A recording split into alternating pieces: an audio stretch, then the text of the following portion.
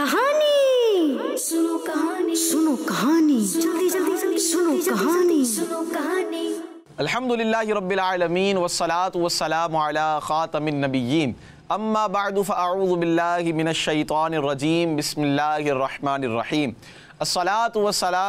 या रसूल अल्लाह आलिका व अस्हाबिका या हबीब अल्लाह या नबी अल्लाह सलातु वस्सलामु अलैका या नबी अल्लाह व अला आलिका व अस्हाबिका या नूर अल्लाह व अला आलिका व अस्हाबिका या नूर अल्लाह प्यारे बच्चों और किड्स मदनी चैनल के नाजरीन एक बार फिर आपको वेलकम कहते हैं खुश आमदीद कहते हैं। प्रोग्राम जिसका नाम है सुनो। कहानी। कहानी शुरू करते हैं। प्यारे बच्चों अल्लाह पाक ने अम्बिया कराम को दुनिया में भेजा ठीक है? अम्बिया कराम तशरीफ़ लाए। किस लिए? अल्लाह पाक की दावत देने के लिए। किसके लिए? अल्लाह पाक की यानी कि जो लोग अल्लाह पाक को नहीं मानते थे उनको ये दावत देने के लिए कि अल्लाह को मानो। ठीक है? अल्लाह एक है। उसके साथ कोई शरीक नहीं है। किसी को शरीक ना ठहराओ। किसी और की इबादत ना करो। किसकी इबादत होगी सिर्फ़? अल्लाह की। सिर्फ़ और सिर्फ़ अल्लाह की इबादत। ठीक है? आज का जो हमारा वाक़िया है ना वो बड़ा ही प्यारा इंटरेस्टिंग अमेजिंग वाक़िया है और अम्बिया कराम में से एक बहुत ही प्यारे नबी हैं सुबहान अल्लाह उनकी एक स्टोरी है एक वाक़ है और उसके साथ परिंदों का भी ज़िक्र है। किसका ज़िक्र है? परिंदों का ज़िक्र है और एक बादशाहत का ज़िक्र है मलिका का ज़िक्र है। किसका ज़िक्र है? मलिका। की स्टोरी सुनेंगे इन अल्लाह पाक के एक बहुत प्यारे नबी प्यारे बच्चों उनका नाम है हज़रत सुलेमान अलैहिस्सलाम। क्या है? हज़रत सुलेमान हज़रत अल्लाह पाक ने अपने अम्बिया कराम को बहुत सारे मौजात अता फरमाए। तो एक मुआजा वैसे तो बहुत सारे मुआजे थे हज़रत सुलेमान अलैहिस्सलाम के पास भी। उनमें से एक मुआजा हज़रत सुलेमान अलैहिस्सलाम के पास जो था वो था एनिमल से टॉकिंग करना। क्या करते थे? जानवरों से बातें जानवरों की बोलियाँ समझ लिया करते थे। यानी आप जो है परिंदों की बोलियाँ समझ लेते थे जानवरों की बोलियाँ समझ लेते थे। तो प्यारे बच्चों वाकया कुछ इस तरह है कि मुल्क सबा में कहाँ पर? मुल्क सबा। तो प्यारे बच्चों मुल्क सबा की वो थी मलिका मलिका है बिल्किस उसके पास बहुत सारी चीज़ें। आप यूँ समझिए कि एक बादशाह के पास जो चीज़ें होती हैं ना सारा उसके पास। बड़ी बड़ी चीज़ें सामान। हज़रत सुलेमान अली सलाम के पास बहुत सारे परिंदे थे ठीक है? और बहुत मशहूर मशहूर उनमें से एक परिंदा जिस जो हज़रत सुलेमान अली सलाम का फर्मा बरदार आप जिसे कहें ताबे कहें जो हुक्म मानता था वो था हुद हुद क्या था? हुद हुद जो हज़रत सुलेमान अली सलाम का फर्मा बरदार था। ठीक है यूँ समझिए आप। तो प्यारे बच्चों हुद हुद ने हज़रत सुलेमान अली सलाम को इस मलिका मलिका बिल्कीस की खबर दी थी। हदूद ने कहा था हज़रत सुलेमान अली सलाम से कि एक मलिका है मुल्क सबा की। जिसके पास इतना ख़जाना है ऐसी बादशाहत है उसकी। बड़े बड़े यूँ समझिए बादशाहों के पास जो चीज़ें होती हैं सामान होता है बड़े बड़े महल और बड़ा सा तख्त है उसका। क्या है बड़ा सा? तख्त। तख्त किसे कहते हैं?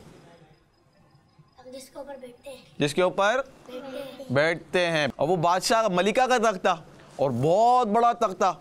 उस हदूद ने सारा वाक्य यूँ समझिए स्टोरी जो देख कर आया था ना ये मुल्क सवा गया था हदूद उड़कर। और ये आया था देख कर ये बड़ा तवील वाक्य है ये शॉर्ट समझा रहा हूँ मैं आपको। तो इसने बयान किया हज़रत सुलेमान अली सलाम के बारे में। आखिर में हद हद ने कहा कि ये लोग जो है ना ये अल्लाह को नहीं मानते। किसको नहीं मानते? अल्लाह को नहीं। अल्लाह को नहीं मानते नहीं अल्लाह पाक की इबादत नहीं करते हैं। ये गलत है। ये तो यूँ समझिए सीधे रास्ते से हटे हुए हैं भटके हुए लोग हैं। कौन है? सीधे रास्ते से हटे हुए हैं। गलत लोग हैं गलत काम करते हैं। तो हज़रत सुलेमान अली सलाम प्यारे बच्चों अल्लाह पाक के नबी क्या थे?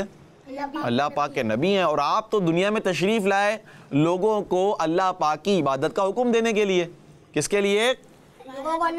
कि अल्लाह पाक की इबादत करो। जितने भी अम्बिया कराम अलीसलाम आए ना प्यारे बच्चों ये बात आप अपने जहन में रखें याद रखें कि उनका जो मकसद था वो था अल्लाह पाक के एक होने की दावत देना। कि अल्लाह एक है और उसके साथ कोई शरीक नहीं है तो वो ये दावत देते कि मैं अल्लाह का नबी हूँ अल्लाह का भेजा हुआ हूँ ठीक है? तो तुम अल्लाह पर ईमान लेकर आओ। ये उनका बुनियादी मकसद था पर्पज़ था। तो अब हज़रत सुलेमान अली सलाम ने हद हद के ज़रिए उस मलिका बिल्किस को लिखा खत। क्या लिखा? तो प्यारे बच्चों हज़रत सुलेमान अली सलाम ने लिखा एक लेटर खत। किसको? मलिका बिल्किस को। किसके ज़रिए लिखा? खत के ज़रिए।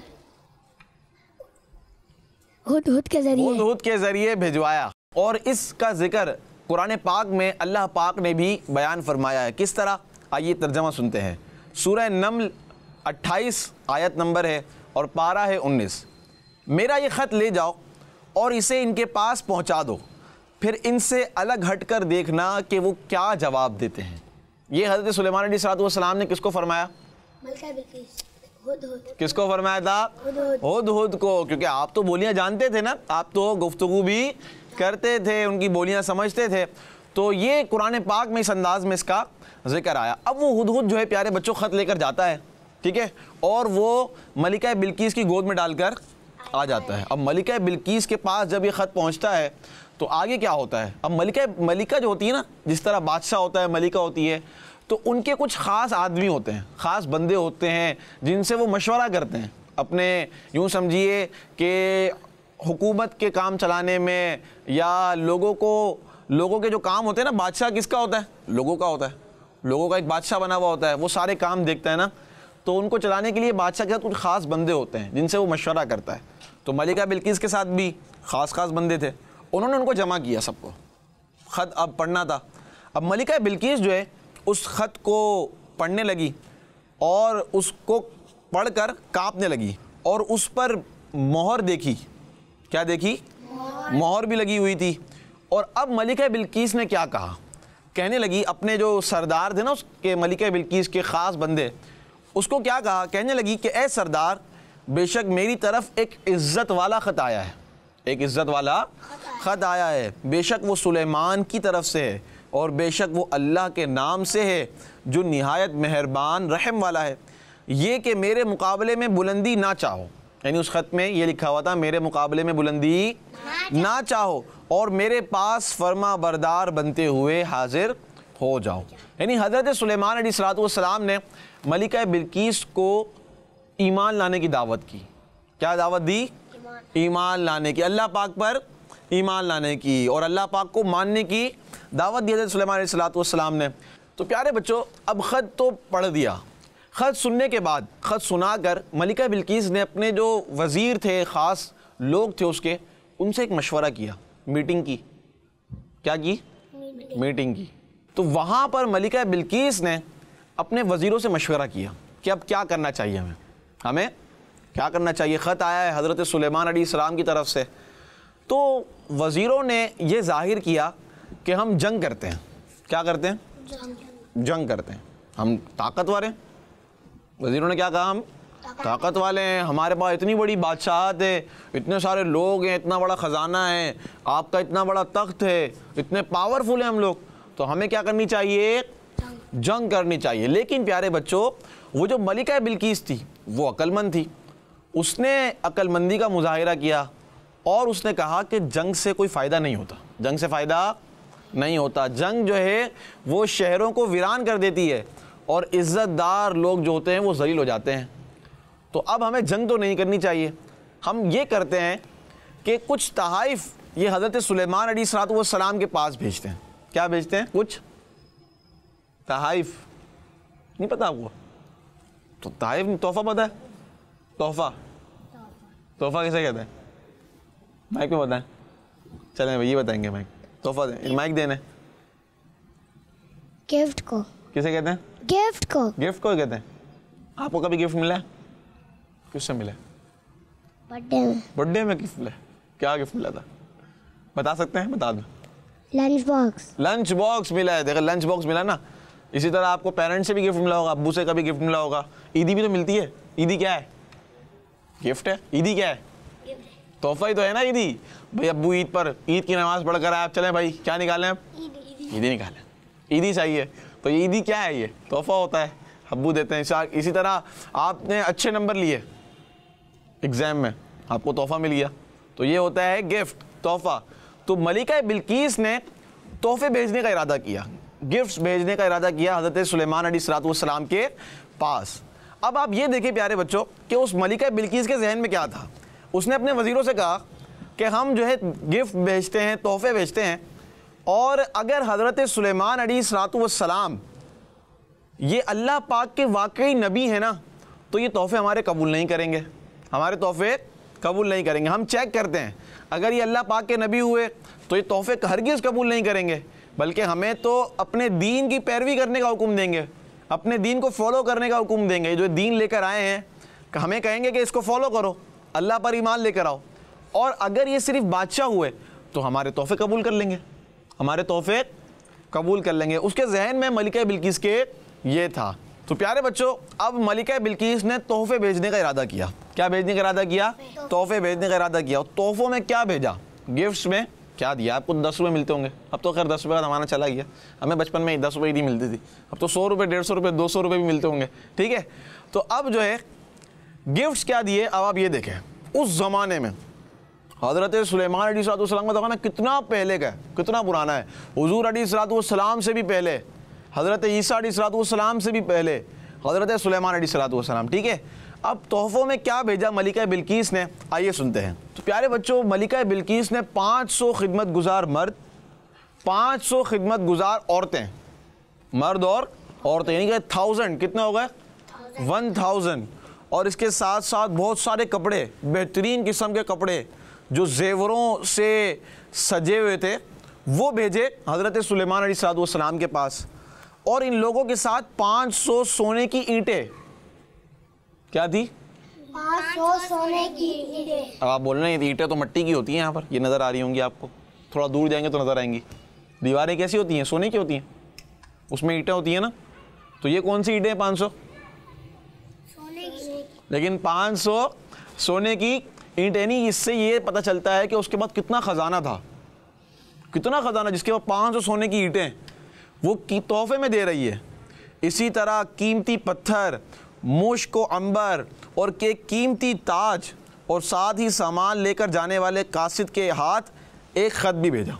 इतना सारा सामान जो है, मलिका बिल्किस ने हज़रत सुलेमान सलाम के पास तोहफे में भेजा। आगे क्या होता है प्यारे बच्चों? हुद हुद ये सब होता देख रहा है। अच्छा हुद हुद कहाँ है? ऊपर है। छुपा हुआ कहीं पर। पता नहीं कहाँ है। लेकिन वो सब कुछ देख रहा है। क्या हो रहा है ये? मलिका बिल्किस क्या कर रही है? जैसे ही इनकी बात पूरी हुई फ़ौर वो हदूद वहाँ से चला जाता है। और हज़रत सलेमान सलाम के दरबार में आकर सारी ख़बरें बता देता है। सारा वाक्य बताता है कि वहाँ ख़त डाला गया, जब मैंने ख़त दिया तो उसके बाद मलिका बिल्किस का रिएक्शन क्या था? और उसके बाद उसने मशवरा किया, ये सोचा, जंग का जंग का मशवरा मंजूर नहीं किया, और तोहफे भेजने का आपको इरादा किया। वो सारी चीज़ें बता देता है। तो प्यारे बच्चों, जब चंद दिनों बाद मलिका बिल्किस का कासिद तमाम सामान लेकर हाजिर हुआ। तो हज़रत सुलेमान अली सलाम ने गुस्से में आकर फरमाया क्या तुम माल के ज़रिए मेरी मदद करते हो? क्या फरमाया? क्या तुम माल के ज़रिए मेरी मदद करते हो? यानी तुम माल देकर एहसान जतलाना चाहते हो मेरी मदद करना चाहते हो। तो अल्लाह ने जो कुछ मुझे अता फरमा रखा है वो उससे बेहतर है जो उसने तुम्हें दिया है बल्कि तुम ही अपने तोहफे पर खुश होते हो। ये हज़रत सुलेमान सलाम ने उस कासिद से फरमाया।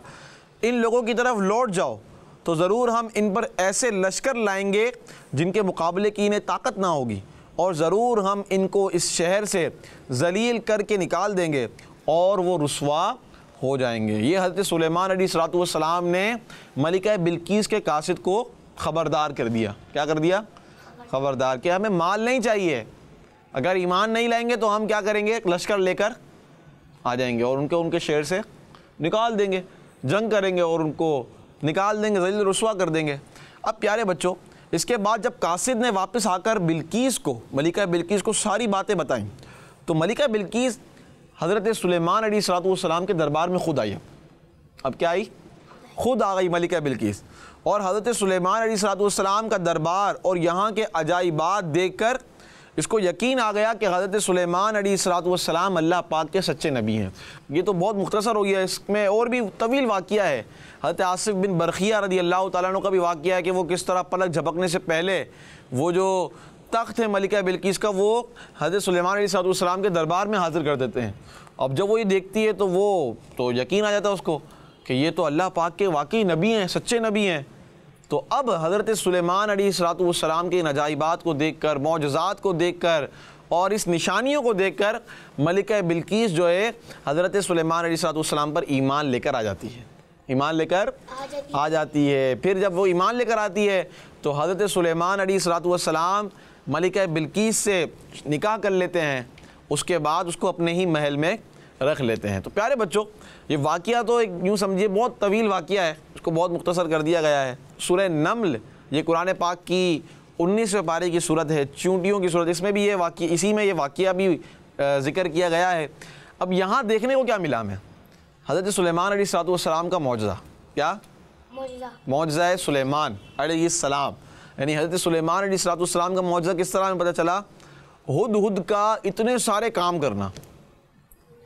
हुद का? हुदूद ने क्या क्या काम अंजाम दिया आप देखें।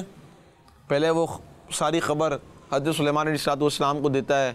उसके बाद वहाँ ख़त लेकर जाता है, ख़त छोड़ कर आता है, सारा वाक़ सुनाता है। तो ये आम शख्स ऐसा काम नहीं करवा सकता। आम शख्स नहीं करवा सकता। तो अल्लाह पाक के नबी तो वैसे ही पावरफुल होते हैं। इस कायनात में सबसे बेहतरीन शख्सियात जो हैं, सबसे बेहतरीन पर्सनैलिटी सबसे अफजल पर्सनैलिटीज़ जिन्हें कहा जाए, वो अल्लाह पाक के अम्बिया कराम है। अल्लाह पाक के अम्बिया कराम ही हैं। जी हाँ अल्लाह पाक ने अपने अम्बिया कराम को पावरफुल बनाया है और बहुत सारी ताकतें अदा फरमाई हैं। तो वो अल्लाह पाक की अता से मुआजात दिखाते हैं। तो ये एक मुआजा था हज़रत सुलेमान अली सलाम का। तो प्यारे बच्चों अल्लाह पाक के अम्बिया कराम जितने भी हैं वो सब सच्चे हैं अच्छे हैं और सबको हम मानते हैं। हम सबको मानते हैं। याद रखिएगा किसी भी नबी की यूँ समझिए हमने शान में कोई कलीमा गलत कहना ही नहीं है। कोई भी अल्फाज, अपना ऐसा कहना नहीं है कि जिससे किसी नबी की शान में कोताही हो या कम होती हो। सब नबी अल्लाह पाक के हैं और अल्लाह पाक ने अपने अम्बिया कराम को बहुत सारे मुआजात अदा फरमाए हैं और वो इस कायनात के अंदर सबसे अफजल हैं। सबसे अल्लाह पाक की मखलूक में सबसे अफजल हैं। ये हमारा अकीदा है। ये बात आपने याद रखनी है, ठीक है? तो इसीलिए हमें सारे अम्बिया कराम की रिस्पेक्ट भी करनी है। उनका अदब भी करना है, उनके मौजाद को भी सुनना है, और उनकी लाइफ को रोल मॉडल भी बनाना है। और जो उनकी ज़िंदगियाँ थी उनको देख कर उनको पढ़ कर उनको सुनकर हमें सीखना भी चाहिए। अल्लाह पाक से दुआ है कि अल्लाह पाक हमारे इस प्रोग्राम को अपनी पाक बारगाह में कबूल फरमाए। प्रोग्राम का वक्त भी ख़त्म हो रहा है। इन अगले एपिसोड में फिर मुलाकात होगी किड्स मदरी चैनल देखते रहिए। सल्लु अल हबीब सल्लल्लाहु ताला मोहम्मद सल्लल्लाहु ताला अलैहि वसल्लम। कहानी। सुनो कहानी। सुनो कहानी। जल्दी जल्दी जल्दी सुनो कहानी। सुनो कहानी। बच्चों का मदनी चैनल आ गया। बच्चों का आ गया आ गया।